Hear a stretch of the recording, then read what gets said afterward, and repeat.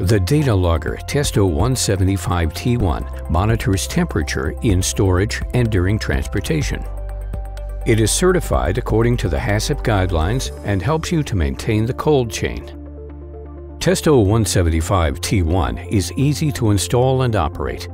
The useful wall bracket is included in delivery. After the measurement, you can read out the measurement data on your PC or laptop via the SD card. We include suitable software for the analysis in delivery.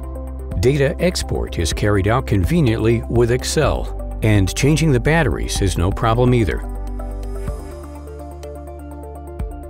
Your measurement data are securely stored in the instrument.